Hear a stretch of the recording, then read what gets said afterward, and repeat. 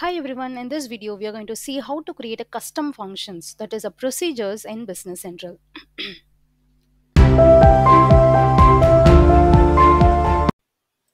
Before we proceed, I would like to tell you that this is my GitHub page and here I'll be uploading all the programs which I'm explaining in the video so you can use it for your reference and please start this page. And next one is this is my blog. Here I will be uploading all the instructions detail in a detailed manner. So you can if you click on any one uh, blog and if you really feel that blog is very helpful to you so you can just follow my blog by clicking here. And uh, this is my um, youtube channel. So you can see here that i'll be uploading all the videos here uh, in a proper um, uh, you can see all the videos here. And if you really like that this video that particular video any video which really helped you a lot to learn something and if you want to thank me if you want to show your support so you can click here thanks. This is the agenda of today's session. That is we'll be talking about what is uh, custom functions that is procedures and what are the importance of that. We'll be doing a simple program and procedure to validate uh, that is we will be writing a procedure and i'll show you how to validate using that procedure how we can validate a field. Okay so let us start. The first one is word introduction. So what is the custom function or the procedure? So the custom functions are an important concept in programming like as a developer when we start to program so we make some algorithm or we make some step by step a proper procedure like how to how it should work and how it has to execute.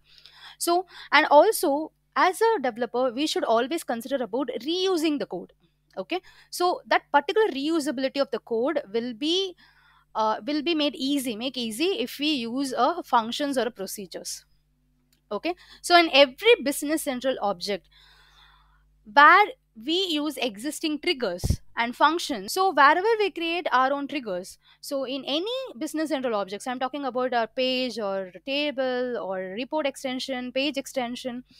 So when wherever we can create a trigger we can create a procedure our own procedure or a, a functions with our own logic and code. Okay? So we will uh, we, i'll just show you how to create a function with parameter and without parameter and few may also don't know what is a parameter i'll also explain you. But this is very basic uh, video. So i'll be explaining what is function what is a procedure. That is functions as well as a custom functions as well as a procedure. And how to create a simple program with that and how to validate that okay? And later the next videos or upcoming videos i'll be showing you how to pass a parameter and everything okay? So the importance of function is what it is used to organize the program we can create self-explaining code like whatever the code if you wanted to write it if you wanted to do it if you wanted to make the uh, change the logic we can do it. Simplify the development process it makes the code reusable.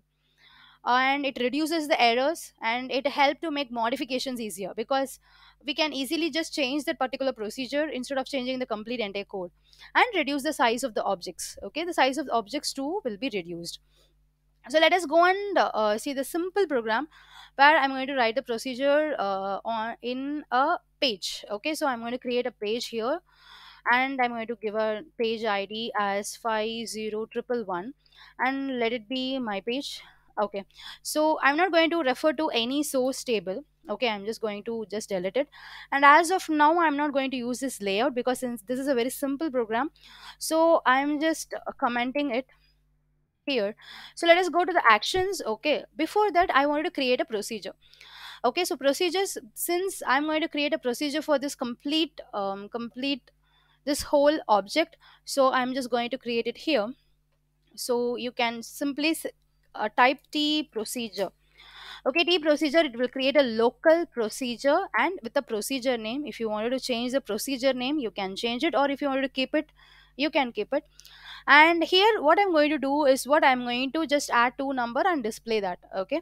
So add two numbers so i'm going to use a my integer as well. And in the begin i'm going to use my integer colon is equal to 25 plus 65 okay because i'm not going to pass any parameter the constant variable i'm just going to use it here and i'm going to print this as a message. So my int okay? I'm just going to print this as a message. So i'm just going to use this and because since i want to format it because this is an integer i'm just formatting it. Okay use a format and the procedure is done okay? I have created a simple logic here okay? I'm just adding and i'm printing it. So i wanted to call it inside the um inside the action okay? That is inside the trigger. So i'm just naming it as a simple procedure. Okay and then here i wanted to call it right? So simple procedure. Okay i have spaces here so i'm just going to use it inside the double quotes. And since you can see here that uh, i wanted to call the function. This is function declaration. We have created the function we have declared the function. I wanted to call the function. So how you can call? Simple you can just use the procedure name to call it okay? And this is what whenever you are using a parenthesis that is we will be using a parenthesis for a function. Okay this format is a function okay? Because here you can see format is a procedure. This is the built-in procedure okay? This is already written in microsoft itself. Message is a built-in procedure okay? Anything any word which has an open and close parenthesis you can see that that is a function my int is not the function because it hasn't it is not having any open and close parenthesis. Okay? On action is a function. Okay? You can see it's a local trigger function. Okay? Area processing. This is a keyword. Fine. Okay? So these are all the functions which we are using. So it's a simple function and i'm going to execute this code. I'm going to use 50111 control s and control f5 you can see the function here. We'll be executing the code. We will just uh, see. Once if i click the action that is a simple procedure action you can see that it will add to the two values and it will print it in a message. Okay so what will happen you know like once this code is uh, executed then it will go to the action yes let it load. So once if the code is loaded no it will go to the action okay? So in the action this function will be called this procedure will be called this will take to this particular block and this complete code will be executed. So the initial execution will not begin from the function part okay? There is a mm, custom function part it will proceed as such. Okay now here you can see this is my page and if i click the simple procedure action you can see 90 is the value of that is answer for that. Okay great. So let us just go to the next one. Like i'm going to validate something right? So as i as i told i'm going to validate. So i'm going to use that validation here itself. So i'm going to write it here. In the var i'm going to create an variable called age and it is an integer okay? So i'm going to enter this as an integer age as an integer and the local procedure i am going to validate it. So i'm going to add uh, two labels that is text zero zero one as a label and uh, this should be a label and it will print that eligible to vote. Eligible okay just i'm just printing eligible and i'm having an, one more uh, text label that it should print not eligible okay? So i'm just going to use label here. Not eligible okay so i'm just going to evaluate this because we already discussed about uh, if and else okay?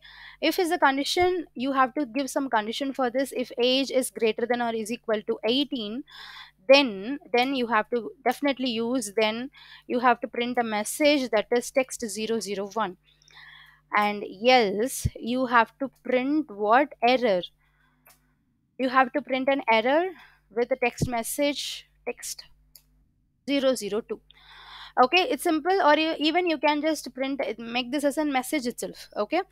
So this is a simple and i'm just making this into uh, called validation validate age age okay and somewhere i have to enter the age right? I have to enter the age so i'm just uh, uh uncommenting this. And here i'm just calling this age okay and uh, it will execute it will evaluate everything okay? So this is what is going to happen. So if i'm just saving it i'm and i'm executing it so i have actually written in the trigger okay so you have to use the trigger. So i'm just typing 12 and if i go and click the trigger it will throw me that not eligible with the error okay. If i'm typing 21 and i'm using the eligible Uh, i'm just using the trigger. So what if we can do we can we can just try to write it here t trigger on on validate okay. So even here you can call the procedure it's not mandatory that you have to only write it in the uh, action area.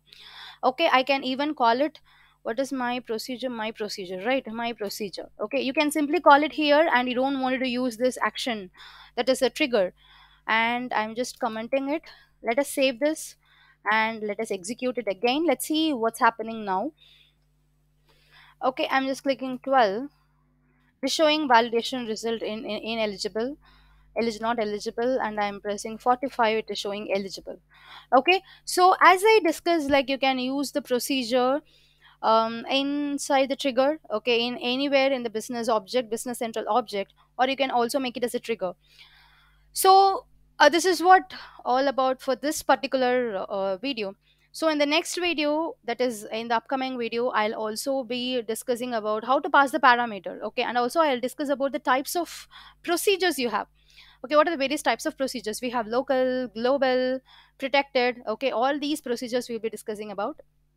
And also pass by um, that is a procedure which you can uh, uh, use a parameter by value and reference. Okay pass a function like pass into a function everything. We will just discuss about all these things. Okay thank you. Take care. Bye bye